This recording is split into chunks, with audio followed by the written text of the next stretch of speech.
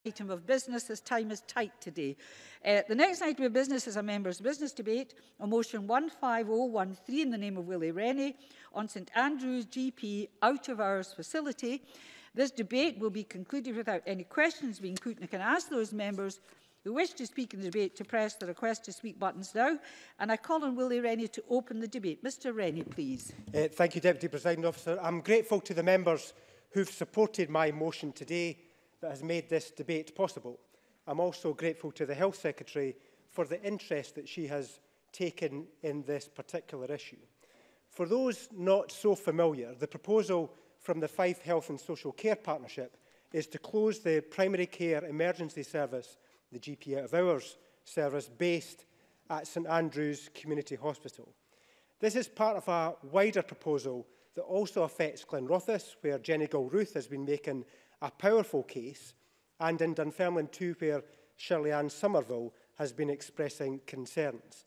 The fury in St Andrews and East Fife has been extraordinary. It has inspired lots of people, unconnected with politics, to be active. Take Penelope Fraser from St Andrews. She's been collecting hundreds of names for my petition right across the area. Students from the university have produced a special video and carried out a protest outside the hospital in Kirkcaldy. Daryl Wilson from Anstruther has produced her own special objection postcard and over 2,000 people have sent one to the Partnership Board. A group of people led by Angela Anderson have submitted a participation request under the Community Empowerment Act. These are just some of the examples of people from the community stepping up because they are so appalled by the proposal. And the response has been overwhelming. The public meetings have been packed in Anstruther and St Andrews. In fact, they had to move one of the meetings to a bigger venue because so many had turned up. 2,300 of those postcards I talked about have been signed. The consultations, in fact, the majority of the consultations, responses to the partnership were from people in North East Fife and over 6,500 people signed my petition against the closure. The case, I believe, for St Andrews is strong. It's a long way from Kirkcaldy, where the nearest centre would be, and some of the roads, the rural roads, are particularly poor. There are lots of elderly people and young students in East Fife who don't have their own transport. They have special health needs, including the students who come from all over the world.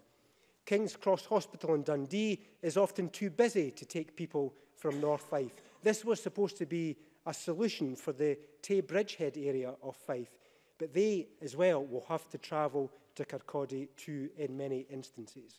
The minor injury unit at St Andrews is run by the Primary Care Emergency Service. So if PCS goes in St Andrews, so does the minor injuries unit too. That would be a double blow for the community. The GPs locally are prepared to provide a service. In fact, the rota at St Andrews is booked all the way up until Christmas and has been for some time. The new service might be different from the one that we've been used to. It might utilise the skills of other health professionals, but a local service is possible and is required. The Lewis Ritchie report does highlight the need for a multidisciplinary approach and one that is person-centred. There is nothing in the Ritchie report that prevents the St Andrews facility remaining open. I would argue that it reinforces the case for St Andrews. There is a shortage of GPs. I would say it's a legacy of poor workforce planning. Of course, there are more GPs, but more of them are part-time, so that there is effectively a cut in whole-time equivalents of GPs. So that is creating this particular problem. There is an issue that needs to be addressed by the Fife Health and Social Care Partnership. People in East Fife understand that, but those problems will not be solved by the closure of St Andrews. I have mentioned before already that the rota at St Andrews is full until Christmas.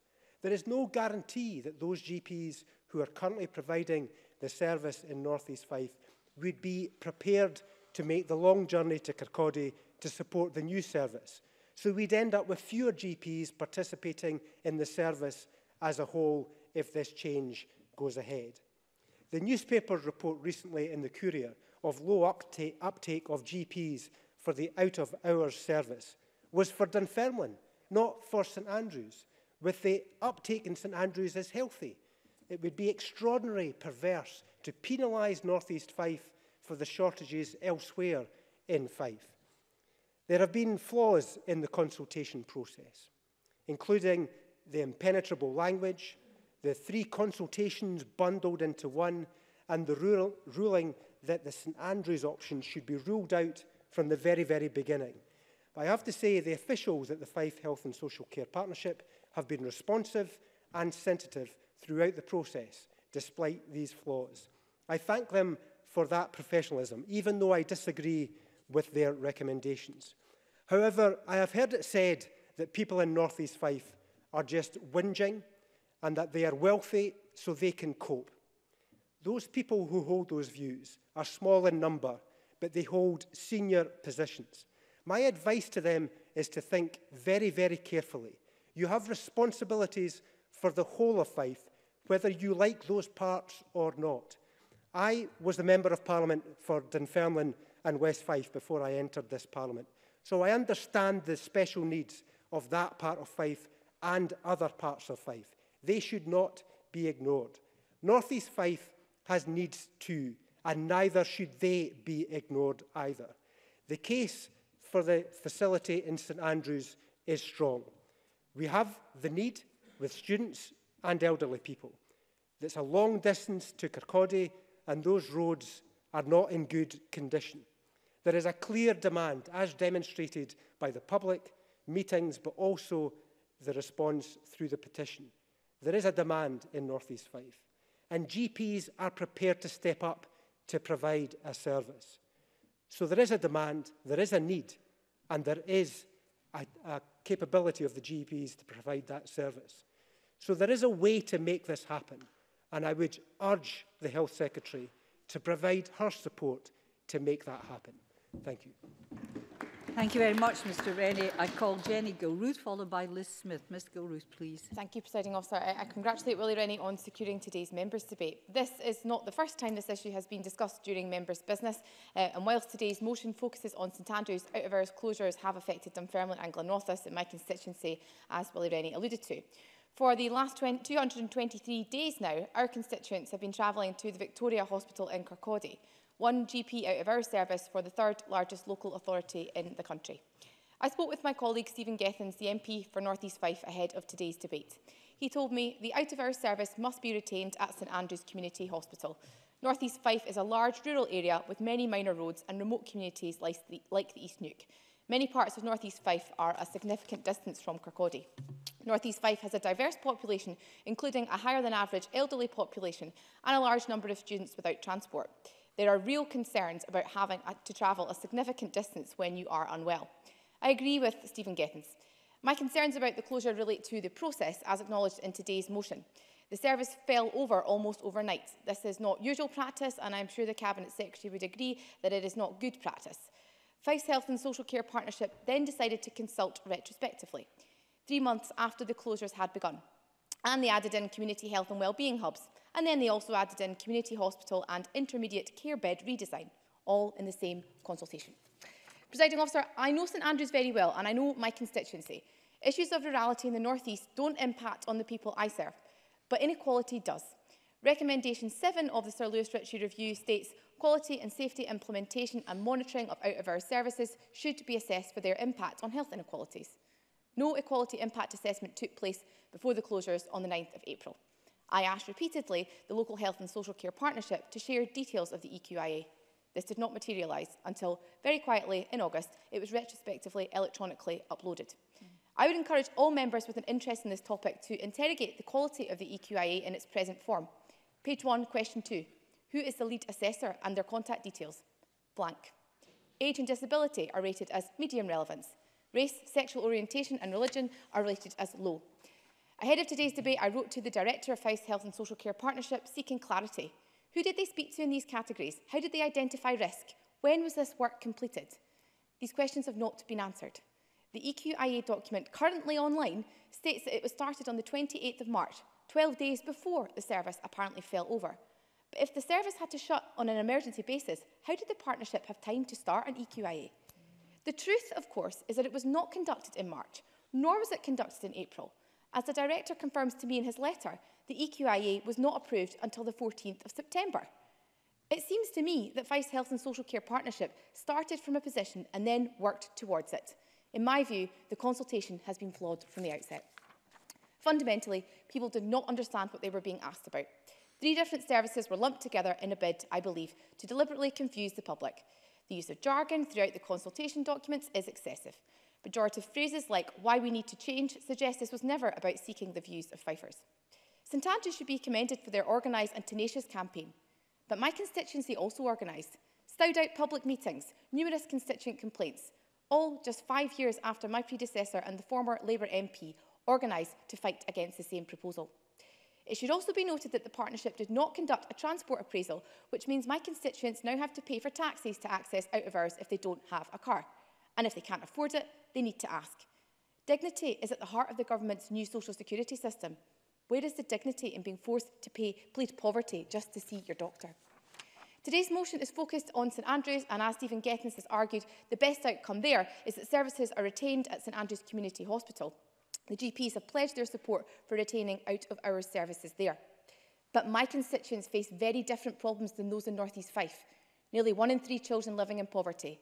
In Levermouth, we have some of the lowest car ownership levels in the country. Benefits cuts have stripped more than a million pounds from the communities I represent. If the IGB votes on the 20th of December to permanently close Glenrotha's GP out of our services, make no mistake, it will be the poorest who suffer. Willie Rennie is right to bring this issue back to the Chamber today. The public consultation has been opaque from the outset. The EQIA is not worth the paper it is written on.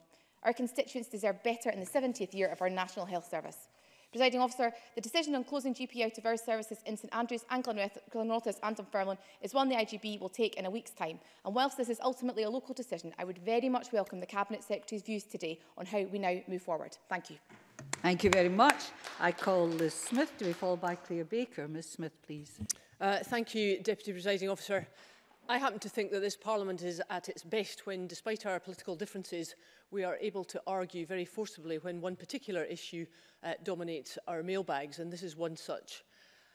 I have to say, in the last debate in this chamber, uh, we had a very similar uh, passion, and I think it's only right that we progress with that, because this is an extremely important issue, not just for St Andrews and the motion that Willie Rennie has brought, but for the whole of the kingdom. Can I thank Willie uh, Rennie for bringing the motion to the Parliament, uh, but also I think he has been um, very passionate and assiduous in his advocacy for keeping the St Andrews GP out of hours facility open, and these benches are very fully supportive of that decision. But can I also pay tribute to the other members, to the SNP members, to Labour members, to the Green member, uh, for their contributions to this debate, and I know that they uh, Cabinet Secretary herself is taking a, a keen interest in this. And like Willie Rennie, I would urge that she is able uh, to at least put some pressure on uh, the Fife situation. It is not just about uh, the IGB decision, uh, which is on the 20th of December, but I think it is about the way in which we make decisions about our local health services. And I think this is part of a, a bigger picture. And I know I've debated with the Health Secretary um, about the structure of IGBs and perhaps how we can um, improve some of that and when it comes to the local delivery. It has to be about the safe and sustainable levels of staffing and it must be equitable, it must be fair uh, and that has to be right across the kingdom uh, of Fife and we have to pay heed to the advice that the clinicians are putting to us. And I know that it's a difficult balance when you come to um, what has been uh, termed an, an unsafe and uh, I think unsustainable situation by um, Michael Kellett, who made that point that he thought there could be improvements ab about the delivery. But the GPs, in many instances, particularly in St Andrews, are saying something completely different. And certainly at the public meeting I attended that Willie Rennie had organised in the first instance, uh, that was a very, very strong message. And I think it's partly because of that very strong message that the campaign has had such uh, and considerable uptake in the uh, St Andrews community. So I think there are a number of factors and I too have heard that comment that it, because it's St Andrews people are relatively wealthy and they can cope with this. Um, not only is that actually quite offensive, it's not true because the demographic in St Andrews is a particularly uh, difficult one because it has a high demographic of elderly people, some of whom are not particularly well off, uh, and it obviously has a very high student population. So the demands on that particular then are very different uh, from the ones that are in different parts of Fife. So I think while we're being told that you know there's there's one part of the um, kingdom that is directing operations on this. I don't accept that. I think this is part of a much bigger picture and I think what is happening in St Andrews is something uh, that we uh, need to see in the holistic uh, round because the out of hours care is incredibly important for a whole host of patients um, and the town that has you know a large population of students and retirees has a particular uh, demographic that I think as I say we we need to be very careful about how we uh, respond to that and it we all know that it's critical that in any health emergency, the patient receives uh, treatment within that golden hour, I think the health professionals call it. So, you know, the travel across to Kirkcaldy or to Glenrothes or to Dundee, you know, that, that is a difficult option um, should the uh, decision be to close it down. And of course, thirdly, the residents of North East Fife were uh, very barely represented in the 2007 options appraisal workshops uh, when various discussions were taking place. So I agree with Willie Rennie. I think some of the professionals um, have been listening, but I'm not sure that the process, and as Jenny Gilruth has rightly set out in terms of the actual language of the consultation and, and the direction with which that has uh, taken, has not been particularly uh, helpful to the engagement of the public. And I think as I see the, the argument at the moment, I think people are almost coming from it at different angles, and that's not helpful to finding a, a resolution. And I'm very conscious that the Health Secretary is uh, very aware of that and is being as helpful as possible. So can I just uh, reiterate my thanks to uh, Willie Rennie, but also to all the other members who I think have been extremely um, honest and straightforward about this. And again,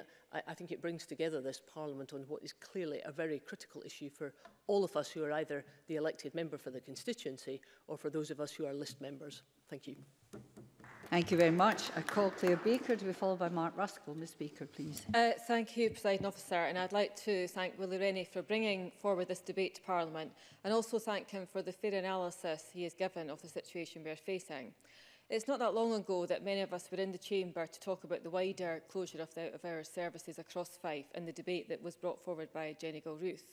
Um, St Andrews is one of three, alongside Glenrothes and Dunfermline, that find themselves facing an extremely uncertain future.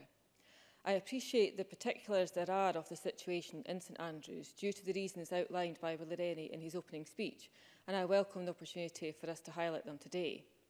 Um, MSPs were informed of the closure of the three out of our sites in April, and next week the IGB will make the decision on their future. The decision to move to contingency measures um, were due to nursing and staffing difficulties and medical staffing difficulties, leading to concerns over clinical safety. So as we are on the brink of the decision, it's important to emphasise the consequences of any decision. So the decision to close the three centres was only supposed to be temporary, a contingency measure that would last for three months. Yet eight months down the line, there is little confidence that we will see a return to the services we once had. It could be considered that a contingency measure was supposed to be temporary until services were resumed and that all three out of hours services could continue. However, disappointingly, the GP situation in Fife has continued rather than improved.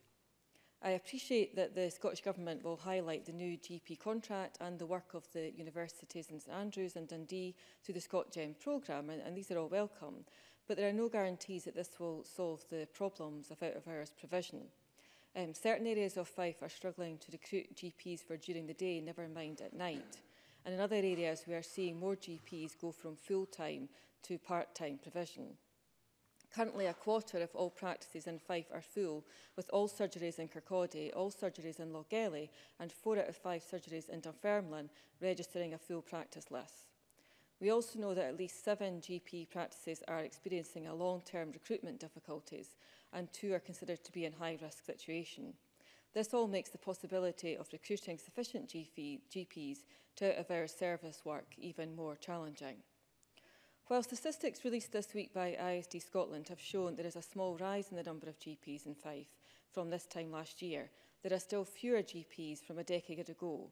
And at the same time, the number of people registering with a practice in Fife is increasing. So while Fife having fewer GPs treating more patients, there is bound to be an impact on services. Struggle, uh, patients struggling to book appointments at their local surgeries may start heading to A&E, all of which puts, um, all of which out of hours GP services are meant to avoid. Others may decide to ignore the symptoms, powering through until they need further, more urgent care. This has the potential to put significant pressure on the Victoria Hospital in Kirkcaldy, currently the only facility in Fife with an out-and-hours service. And as Willie Rennie has highlighted, Dundee's King Cross um, serve out of hours is often at full capacity. We need to look at how to alleviate these pressures, not exacerbate them. That's why the decision to close St Andrews is all the more perplexing. I've attended public meetings in the area, including those organised by Willard Ennie, and I've spoken to local residents and the student representatives at the university. I know how valuable the out of air service is and how the alternatives are simply unacceptable and unrealistic. The travel times for St Andrews are too long, the rurality of North East Fife is challenging and the demographics of the population demands local health care. St Andrews Hospital um, was an out, busy out of hours service and we are being told that there's a commitment from local GPs to run an out of hours service in St Andrews in the interest of their patients. NHS Fife make the case that it needs to deliver for all of Fife and can't accept a solution that would only serve St Andrews. I understand their responsibility is to do that and they must provide a service for the whole of Fife. That that must have flexibility and be able to be tailored. I want to see a solution that retains all three of our services, which recognises the importance of local delivery and does not risk exacerbating the health inequalities that Jenny Gilruth has highlighted. However, until this can be delivered, we have to be open to alternatives. NHS 5 should be flexible about St Andrews, It needs to recognise the needs of its elderly population, its rural nature, its distance from Kirkcaldy and the student population that includes a large number of overseas students.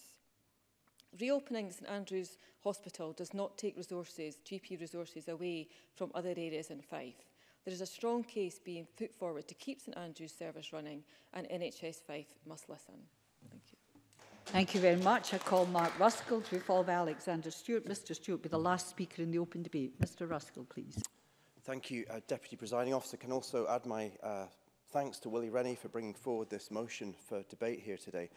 Uh, and of course, much of what we discussed back in the October's members' business brought by Jenny Gilruth is obviously relevant to this debate today, but it's also good to have the opportunity to focus in particular on the situation in St Andrews and North East Fife. And I think you know, Liz Smith makes a very important point that I hope Cabinet Secretary will reflect on, that this is genuine cross-party concern. We're bringing uh, thoughts and concerns and what we've heard from communities into this chamber here, um, and hopefully with solutions as well. Now, following the emergency closure of their services earlier this year, residents from St Andrews and East Nuke have endured journeys of up to an hour to access primary care overnight and at weekends. And with the capacity issues at King's Cross Hospital in Dundee, it's only compounded the issue. Now, I've received reports, as I'm sure many other members have, that there are patients who've had to take taxis and yet they still haven't been re reimbursed for these long and expensive journeys. And I've also heard from students that they're relying on the goodwill of the university to pay for their travel costs to access these services.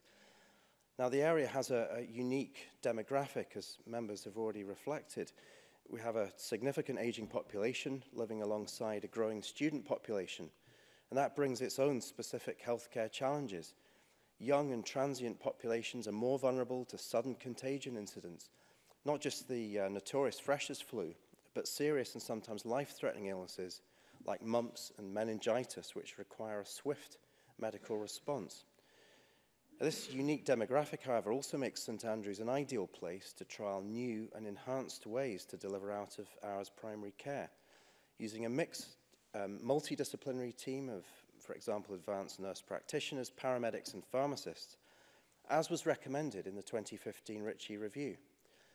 Now, I've been calling for an assessment of this option for some time now, uh, and again remind colleagues that this doesn't have to be an all or nothing scenario there could be a model here that could retain these important services in the communities. And we can recognize this, we can recognize the, the need for change, um, but at the same time, retain a level of primary care locally, joining up with a remote working GP and urgent care team based at the Victoria Hospital. Now, it's clear that the consultation on these proposals has been wholly inadequate, especially since the formal consultation began with the assumption that services in St Andrews would close – And I recognise that the initial closure earlier this year was made in emergency circumstances. But I have heard from GPs in Fife who say that they were not even consulted before the closure was made and were not aware of the extent of the staff crisis for out-of-hours services. Now, I commend the work of St Andrews Community Council, who've sought to ensure local people are represented better in the decision-making process through a formal participation process But I would urge the IJB to grant this request ahead of next week's decisive meeting. This issue, however, is linked with the wider GP crisis we face in Fife and across Scotland. The number of GPs in Fife has fallen since 2008, while the patient list has increased by nearly 11,000. 18 surgeries have stopped accepting new patients, while seven are struggling to recruit the GPs they need to deliver a basic primary care service. When local doctors are under such immense pressure during normal surgery, it is entirely understandable that the out-of-hours service has reached crisis point. I'd be grateful to hear from the Cabinet Secretary in a closing speech about what is being done to address this overall GP crisis and how the Scottish Government are planning to deliver more GPs for Fife. So I look forward to hearing the outcome of next Thursday's IJB meeting, and I hope the Board fulfills its duty to consider all options to properly consult with the community and to ensure they're providing the best possible care in the communities using a full range of medical practitioners that are at their disposal. Thank you, Mr Ruskell. I call Alexander Stewart. Thank you, Deputy Presiding Officer. I welcome the opportunity to take part in this debate this afternoon and congratulate Willie Rennie for bringing it to the Chamber. Here we all are again, Deputy Presiding Officer, having to comment condemn and debate yet another ill-thought-through proposal by Fife Health and Social Care Partnership this afternoon, uh, which talks about the GP of facilities in St Andrews. We've already heard uh, that the primary care emergency services at hospitals in Glenrothes, Dunfermline and St Andrews have all uh, faced uh, difficulties uh, in the last few months since uh, they had shortages back in April. And this area has a large number of students uh, who depend on these facilities and also an aging population. Mm. And that that population deserves more and deserves better facilities than they have at present. I would also like to comment on the effects uh, that took place. And I put forward a, a, a motion myself back in April uh, discussing and condemning uh, Fife Health and Social Care Partnership for what they were doing. And it was widely criticised across the community that the consultation process was completely and utterly uh, unacceptable. Uh, and that is rightly so. We've already heard that 6,000 people have signed a petition and more than 2,000 have submitted objection postcards. And it would sincerely hope that the IGB take notice of that, Deputy Presiding Officer. It would appear that they do not. We've all attended meetings uh, across the region and we've all communicated with them, but they seem to be quite stuck in their ways about what they want to achieve. Uh, and as some already have said, we seem to be moving towards the goal of achieving what they have on paper, not for what the community needs and deserves. Mm -hmm. This whole idea was supposed to be uh, looked upon as a contingency uh, to try and sort out situations and deal with problems in the region. And that hasn't happened. It, it, it seems to just be an exercise that we've all gone through. And the community feel very let down by that process. We've all heard that, you know, King's Cross in, in Dundee, its out of our facility, is often at capacity. Yeah. Uh, and that, that means that there are difficulties in ensuring that people from North Fife can actually be looked after and supported, or otherwise they have to go to Kirkcaldy. And we've already heard about the long distances and the difficulties that that cause. And it was only last week the GPs in the area did talk about what they could do to provide and what they might be able to support. Uh, and that should be taken on board. But once again, the IGBs seem to be very blinkered at their attitude towards this consultations. I very much hope that the body will hear the views of local people that have been highlighted and look towards instating these vital services. I share the deep disappointment that health uh, Fife's Health and Social Care Partnership uh, seem to have a lack of respect for the community that they're supposed to be representing. We already know uh, that in the previous Secretary for uh, Health, she kicked things into the long grass. That was the way things were managed. I hope that the new uh, Cabinet Secretary will look upon this and see it as an urgent opportunity because, as you've already heard, Cabinet Secretary, across this chamber, members who are constituency or list members really understand this problem and I think that you are beginning to understand it too. We have a massive problem and a major concern.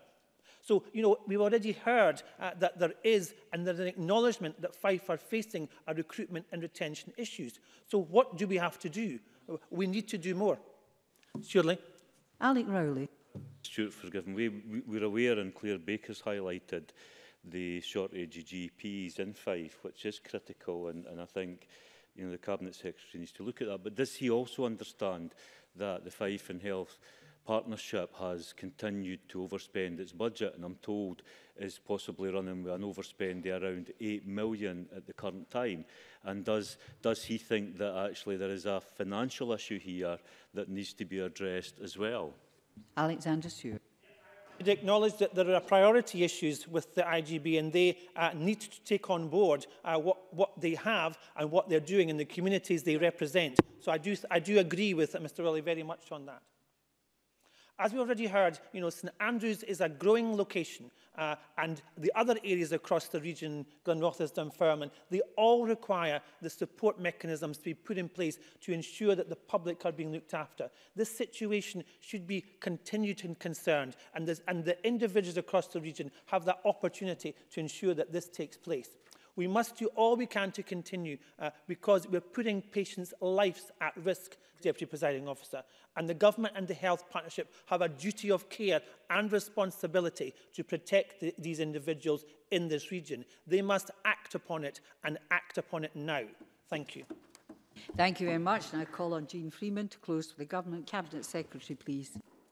thank you very much, Presiding Officer. And uh, like colleagues, can I also thank uh, Willie Rennie for bringing this matter uh, to the Chamber and to all of those who've contributed so far. Can I also uh, make a point of thanking Mr Rennie too for his recognition of the professionalism of the health and social care uh, officials and the way in which they've uh, done this and also his recognition uh, that what uh, may need to be uh, delivered uh, uh, to meet the needs of uh, citizens in uh, Fife, not just the North East, but across Fife, uh, is not necessarily what has been in place up until now.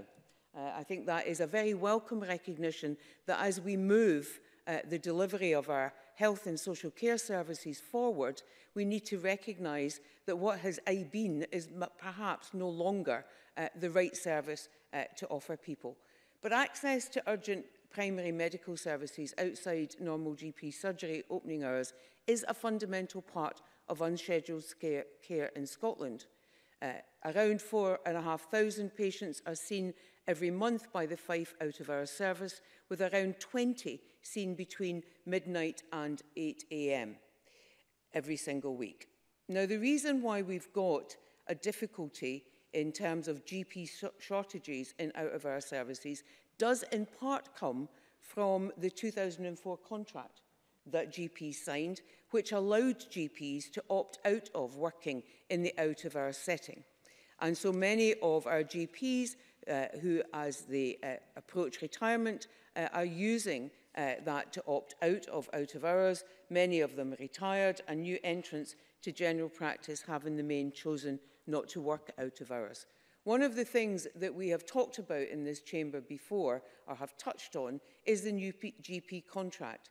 And the new GP contract reflects uh, one important element, and there are many, in Sir Lewis Ritchie's uh, review of out-of-hour uh, services and out-of-hour care, and that is that out-of-hour services require GP, uh, GP involvement.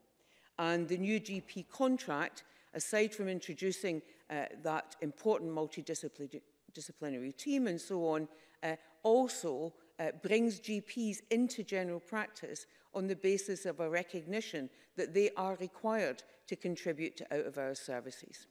Uh, in Fife, uh, the Health and Social Care Partnership has uh, taken a number of steps to improve sustainability and resilience. It has introduced new pay scales for GPs to encourage the uptake of shifts uh, as the norm. That has steadied the service uh, to some degree. It has moved ahead with the Advanced Nurse Practitioner Training Programme, training Band 5, uh, band five nurses up to Band 7 uh, Advanced Nurse Practitioners. Uh, using the out-of-hours funding, they've recruited a further uh, three uh, advanced nurse practitioners to work alongside GPs and they also have uh, a paediatric advanced nurse practitioner. They're also working uh, to look at the prospect of a salaried GP service uh, introduced as part of the overall GP provision. Um, Tayside, who currently operate a 65-35 salaried to sessional GP ratio, uh, have managed to introduce that successfully, uh, and Fife are working with Tayside to see uh, what lessons they might have uh, to uh, teach them that they could uh, use. And there is also uh, a, new, uh, GP, a new GP clinical lead uh, that they've taken on, and they are looking at introducing a GP on-call uh, service. That would be a GP at home uh, in order to offer clinical advice on call. Now, I understand, and I, I absolutely do understand the concerns that members have expressed and the concerns of people in Fife about the current situation. I do not believe that the uh, consultation um, was undertaken in the manner in which it was in a deliberate sense in order to uh, obfuscate and uh, make it difficult for people to be involved. But I do understand why that is the perception. Um, out of our services, intermediate care, how we configure primary care – how we deal with unscheduled care are not unrelated matters. And it makes sense to look at them in the whole, in the round. But the manner in which it was undertaken, coming on the back of having to reduce out of our services for clinically safe, safety reasons, uh, in, almost inevitably, in my view, with hindsight, produced some of the serious perceptions that people have. And I do think that the uh, chief officer in Fife uh, and others recognise that difficulty. And I also think that they recognise that uh, whilst they undertook a number of meetings, um, effective consultation and engagement is not just about the number of meetings you have, it's about how easily you make it for people to participate. I'll take you in a second. Before I, I go any further, though, I have to say I'm not singling out Fife here right? Th this is a, uh, an issue across our whole health service and our health and social care service.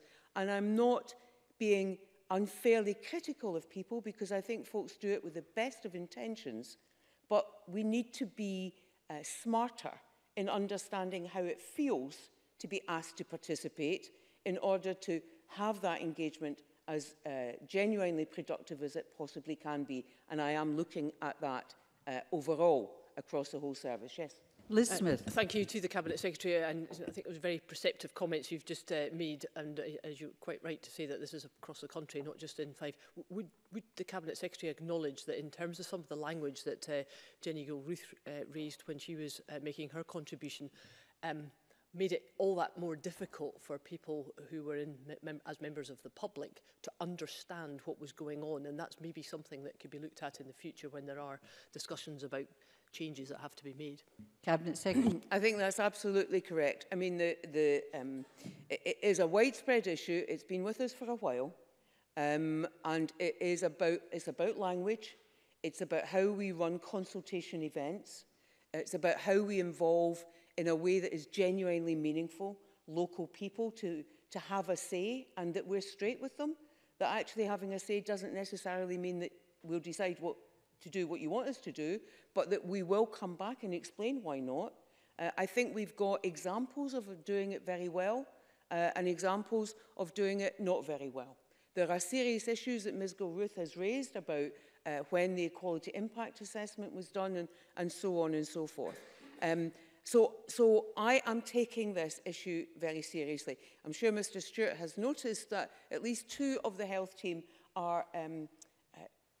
quite short shall I say. So long grass is not particularly attractive to me because I disappear inside long grass and I'm not a fan of it. But I do think that um, we need to, so we need to try and move ahead here, right? The, the um, Health and Social Care Partnership uh, undertook in terms of, of the steps you have to take, notwithstanding the important point about the quality impact assessment and the transport uh, impact assessment, but, un but they undertook Uh, this process in a manner that, that complies with what is required. Um, they, they did the option appraisal uh, involving uh, members of the public and so on. They produced a consultation document. They ran a number of meetings. That in itself, so we shouldn't be overly critical about the approach they took, whilst we might have uh, positive suggestions to make to them and others about the language that's used and some of the critical elements that need to be put in place. What we now have is, of course, a request, quite rightly and entirely uh, within their rights, uh, from uh, St Andrews and I also believe now from Glenrothes under the Empowerment Act uh, to uh, have uh, recognition of and participation. That request is not to the IJB, it is to, quite rightly, to NHS Fife. And NHS Fife need to look at that and consider it. They've already responded, they've asked for additional information. Um, and in my mind, what all of that means is that the uh, IJB will not be in a position next week to make a decision uh, because that request has to be dealt with and heard and determined by NHS 5 in a proper and appropriate manner, but without taking too long to do it. Um, at the same time, it's important that the discussions that are continuing, that have begun, I think there have been three so far, with the GPs in St Andrews that those discussions continue.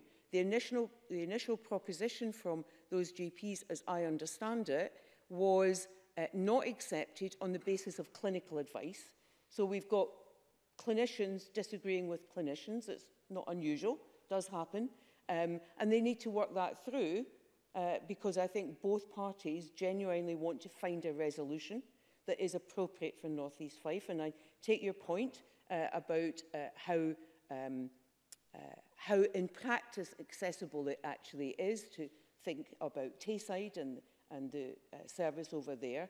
I also welcome the fact that St Andrews University has acted to produce additional uh, health uh, facilities for students, but those do not cover out of hours, of course. So there are a number of areas that are being moved on. Some of the uh, remedial actions I outlined, uh, those continuing discussions uh, with GPs in North East Fife, and now the requirement to take appropriately and seriously the two requests that have been received under the Empowerment, the Community Empowerment Act. Yes, Mr Rennie.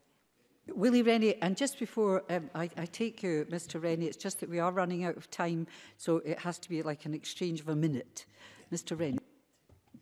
Um, yeah, I, I, I welcome the fact that she's indicated that the partnership won't be in a position to make a decision next week and that further discussions can take place. I think that would be a great opportunity because there is a willingness to try and find a solution here that works. So if that is the case, I think that would be very welcome news in East Fife and, and I hope the partnership are listening to the Minister's advice. Cabinet Secretary. so I, I've only recently, I've only been informed um, very recently about that request. Uh, I've, I've read the letter that's been received. I understand, as of this morning, that Glenn Rothes, I've been informed that Glen Rothes have also made a similar request. I think it's Glen Rothes Residence uh, Forum. Um, so my understanding and my reading of the letter that has gone back from Fife to St Andrews uh, is that uh, an exchange of information needs to take place Fife need to consider matters. They need to look at what Glenn Rothers are saying to them too. That, that all indicates to me that it is actually not possible to make a decision in a week's time. So I will discuss further with the Chief Officer of uh, the Health and Social Care Partnership in Fife uh, what needs to be done and what the times might be. But can I finally do say two things, presiding officer, if I may. Can I just remind members that in terms of people who have to travel for what is the existing provision, that the out-of-hours service will offer a home visit if travel is not possible and we should make sure that uh, residents understand that and can I finally assure uh, members in the chamber who've taken part in the debate and others that I will continue to keep a very close eye on this in order to make sure that we reach a resolution that within the available resource and the challenges that are to be met uh, genuinely meets the, the needs of residents in North East Fife for a pro and Fife as a whole for an adequate uh, out-of-hours services to, uh, to meet their needs.